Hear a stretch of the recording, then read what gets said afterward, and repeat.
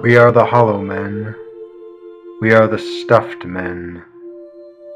Leaning together, headpiece filled with straw.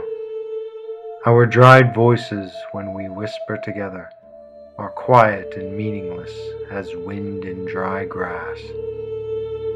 Shape without form, shade without color. This is the dead land. This is cactus land waking alone at the hour when we are trembling with tenderness. Lips that would kiss form prayers to broken stone.